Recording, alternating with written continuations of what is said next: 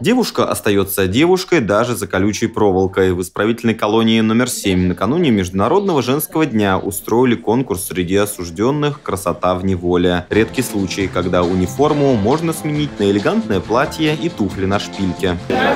Участница заявила, здесь, например, в исправительном учреждении номер 7 у нас 9 отрядов, с каждого отряда по одной участнице. Буквально два часа назад мы провели такое же мероприятие в исправительной колонии номер 3, только приехали оттуда.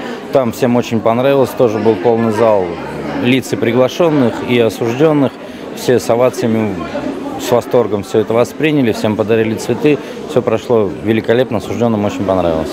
Кольца, серьги и браслеты на зоне под запретом не положено. Тоже касается яркого макияжа, но это в повседневной жизни. На праздник девушки могут наряжаться на свой вкус. Готовились конкурсантки не одну неделю. Сами шили платья, придумывали образ и готовили творческие номера. В, в этой колонии конкурс такой в первый раз. Ну, я попадаю на него в первый раз.